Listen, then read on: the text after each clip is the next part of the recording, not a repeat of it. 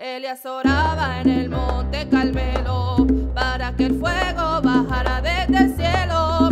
Elias oraba en el monte Carmelo para que el fuego bajara desde el cielo.